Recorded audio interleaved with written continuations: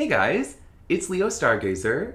Today is Saturday, August 5th, and I'm here with our daily astrological reading.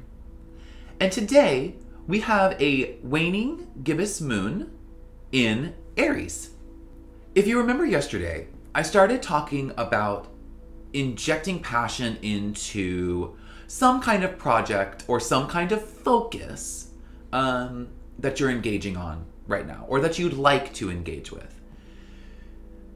I was talking a lot about drive, a lot about passion.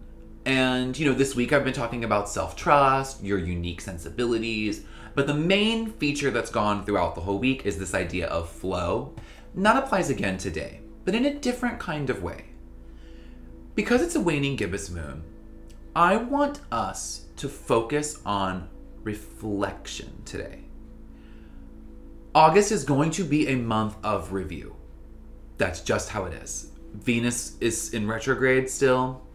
Mercury will enter retrograde. Um, I believe Uranus will also enter retrograde. So there is an intense call for review. And so I don't want to lose sight of that. And I think today's waning gibbous moon is kind of telling us to hold everything we gained this week, all of the knowledge we gained this week about ourselves, about flow, about our intellectualism, our own enlightenment, our specific uniqueness, how and where we can inject passion into our lives or into our groups or into ourselves. And it's telling us hold all of that today and reflect on it. Take today to not really start anything new, not engage, even engage in kind of new ways of thinking. Today, just review what this week was for you, what that full moon felt like for you. I want us today to really reflect on the stuff we've learned this week. I want us to do that so that we can carry it into next week.